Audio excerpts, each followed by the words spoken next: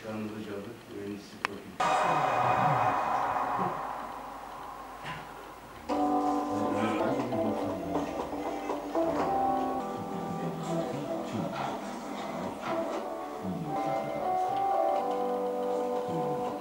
Tabii ki Kırgızistan'ın ama daha sonra da bütün Türk dünyasının gelişmesine hizmet edecek ve nihayetinde insanlığa değer katacak bir nesil yetiştirebilmek amacıyla Kırgızistan Türkiye Manas Üniversitesi'ni Bişkek'te Kırgız kardeşlerimiz ve Türkiye Cumhuriyeti Devletimiz birlikte kurarak bugüne getirmiş bulunuyor.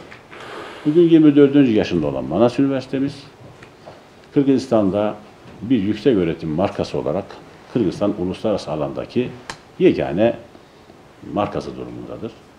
Orta Asya'da ise önde gelen 101 üniversite içerisinde ilk 5 sırada, ilk 5. dizmede diyelim, listede diyelim bulunmaktadır. Bizimle beraber aynı listede Kazakistan'dan 3 üniversite, Öz- Özbekistan'dan 1 üniversite bulunuyor. Bulunduğumuz pozisyon kuruluş amacına uygun ve yapılan e, çalışmaları, verilen emekleri e, layıkıyla yerine getirmek için gayret gösteren bir camiadan bahsediyoruz. Burada bulunan öğretim elemanlarımız, yöneticilerimiz, öğrencilerimiz, bütün bu camia kendilerine verilen bu şerefli görevi yerine getirmek için bütün gayretiyle çalışıyor. Gösterilen güvene layık olmak için her türlü çabayı gösteriyor.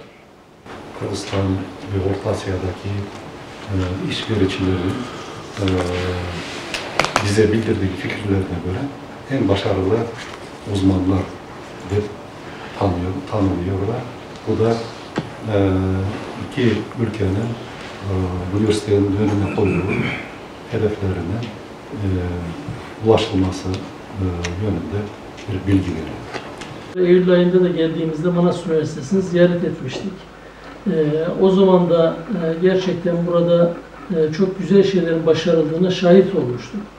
E, çünkü geleceğe yapılacak yatırımın aslında insandan geçtiğini, e, siz şu anda yaptığınız işlerle aslında gelecek yılları parantez aldı, altına aldığınızı e, bizler biliyoruz.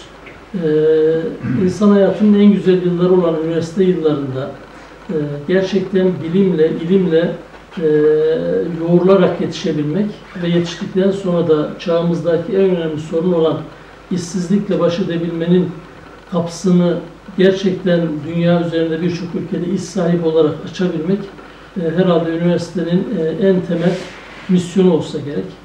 E, siz bu misyonu yetiştirmekle, iş sahibi yapmakla ve en önemlisi de Türk kültürünü dünyaya duyurmakla iki ülke arasındaki dostluğu da geliştirmekle çok büyük işler başarıyorsunuz. Sizin üniversitenin bölge için bir lokomotif değer olduğunu ve bölgedeki örnek alınabilen bir üniversite olmasıyla da sizlerin katkısıyla gelecekte daha da farklı boyutlarda başarılara imza atacağına inanıyorum. Bu duygularla bir arada olmaktan duyduğum memnuniyeti tekrar ifade ediyorum. Başarılar diliyorum. Biraz evvel gençleri gördük, mutlu olduk. Türk dili konuşan ülkelerin gittiğim zaman e, toplantılarımızda söylediğim bir gerçeği var. Örneğin Türkiye'de Kırgızcanın e, Kazak dilinin panoda bir müzenin girişinde bir arada Türkçe ile birlikte yer alması aynı şeylerin de buralarda yer almasını düşüyor, istiyorum. Çünkü gidiyoruz, kapıda bakıyoruz, e, doğal olarak Kırgızca var. Yanında Rusça var. Altına da Türkçe yazılsın istiyorum. Bir de Türkçe bulunsun. Yani Türkiye'de de çok gelen olacak bundan sonra.